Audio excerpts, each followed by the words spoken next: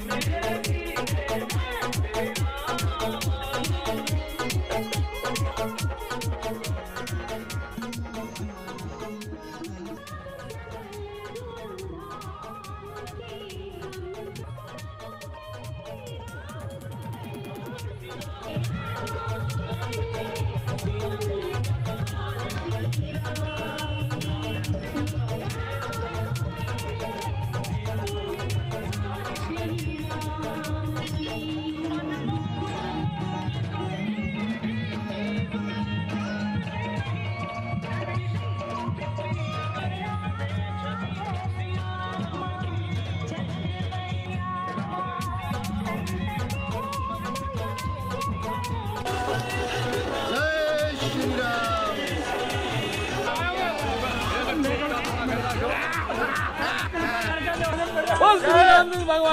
श्री राम। जय श्री राम। जय श्री राम। जय श्री राम। जय श्री राम। पवित्र रखो हमारे बड़े बूढ़े हैं जी। पवित्र जगह कौन सी जगह